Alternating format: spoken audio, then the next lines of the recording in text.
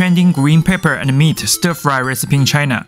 Shred the lean pork or chicken breast with your left hand. Salt, ground pepper, dark soy sauce, scallion and ginger water. Give the Thai massage. Let it sit for 5 minutes. Evenly coat it with cornstarch. Cooking oil. Stir fry shredded meat until color changes. Leave it alone. Stir fry garlic until aroma comes out. Green bell pepper. Stir fry on high heat until all is softened. Shredded meat. Light soy sauce. Violently tossing with your both hands. Dish up. Done and dusted. Out of this world.